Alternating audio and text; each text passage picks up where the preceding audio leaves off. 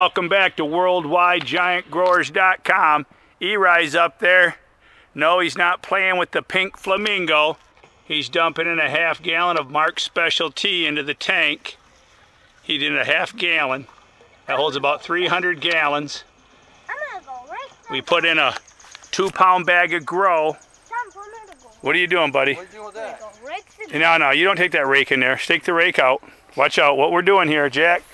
Jack's a loose cannon today. We're um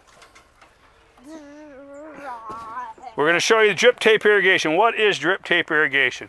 Well, we got that tank elevated. What is that, 11 feet off the ground, Eri? Feet to the platform, What is it? 10 foot to the platform. 10, 10 foot off the ground, the bottom of that.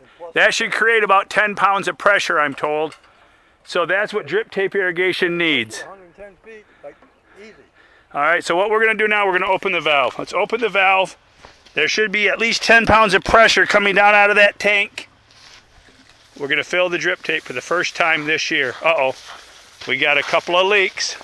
This is why you turn it on, Sh shut them off. They're blowing, somebody didn't put them on good. Well, lesson learned on that. Okay, this is why you load test it, but we're also feeding them for the first time. We got a storm blowing in. Possibly. It might blow over. Anyways, here we go. Are they filling up? I don't see any more lines blow.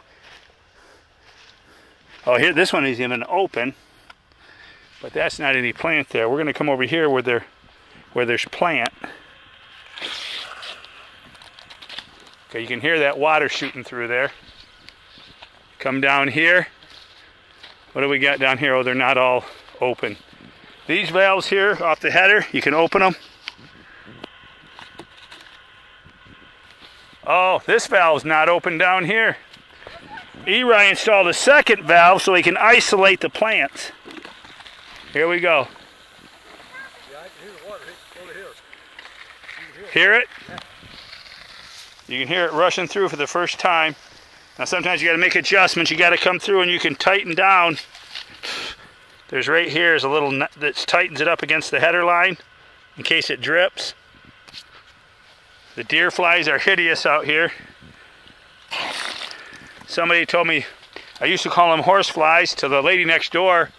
Marcia Hall told me, those aren't, those aren't horse flies, those are deer flies. You see any horses around here?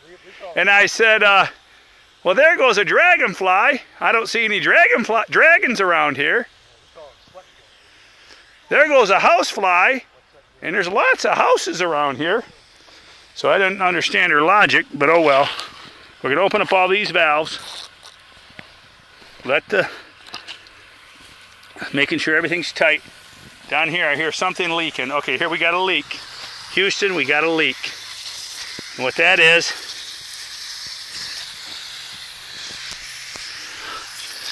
uh-oh, we got a leak in the main header line right there. I just put my finger on it. That's in the main trunk. That's going to have to be repaired. So, at? right there, look it. Look, we got a we got a leak. You want to put your hand on it? Put your finger on it, Jack, until we're all done. Put your finger right over the hole. Good job, Jack. That's using your brain.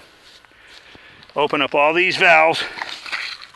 We're going to get them their first drink of fertilizer through drip tape this year. All right, there you go. There you have it, Bub and Eri's set up with drip tape in place. Now we just got to catch up to everybody else. I hear Birdman's already got a pumpkin that's around three, 400 pounds. Going to be day 30 on July 5th. We'll find out he might be around that 500 pound mark if he's lucky. So we got a long ways to go, but we'll catch him. Don't worry. We'll make like that Heinz tomato and we'll catch up. All right, Jackson, what do you got going, buddy? You got, you're not the plumber, you're the plumber's son. You'll plug the hole till the plumber comes. That's what Jack's got going over there. Patient, got your finger on that leak? Keep it on there. We'll have to repair that. Maybe I can put a bike patch on it or something. What's a bike Like a tire patch on a bicycle. I'm sure I can take some PVC glue and I can fix that, repair it. All right, man. Keep them growing, man. Talk to you. Post comments below. Leave your comments. You can win a six-pack.